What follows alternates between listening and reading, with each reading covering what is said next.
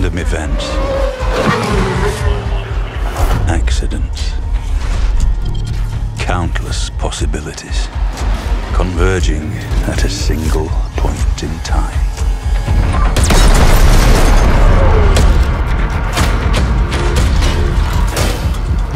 Yet there is only one truth.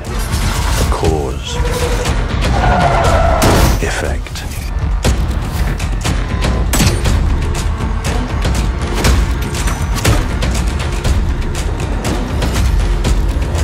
We live in a world of assassins. And the best of them all is Agent 47.